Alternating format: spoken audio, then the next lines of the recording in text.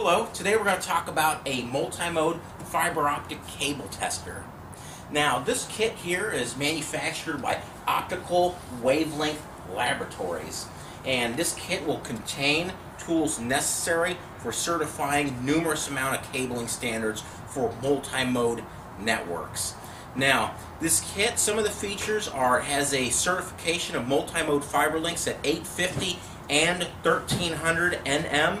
It has auto test functions, store references and data points automatically, data storage for up to 200 data points. You also have a USB interface for continuous data logging, report printing, or data downloading. The OWL Reporter software for printing formatted fiber certification reports, and the measurement modes include absolute for optical power or relative for optical loss.